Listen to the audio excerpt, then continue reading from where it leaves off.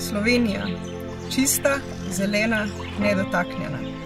Okolje, ki mi daje novih moči in me nenehno navdihuje. Tukaj lahko dam največ od sebe. Ko si zaželim umakniti se v naravo, sem lahko le z nekaj zaveslaji po Ljubljanici na Ljubljanskem barju. Ljubljana je moje mesto, zelena in urbana. Ker je arhitektura ena od mojih ljubezni, ob veslanju skozi mesto uživam v prečnikovih mojstrovinah. Ljubljana je resnično zelena prestolnica in Slovenija prava zelena destinacija. Ljubljanica mi nudi odlične pogoje za vadbo osnov, na Savi v Tacnu pa uživam v tekmovanjih in treningih na divji vodi. Sem Eva Drčel, svetovna prvakinja v slalomu na divjih vodah. Pridite in doživite mojo zgodbo.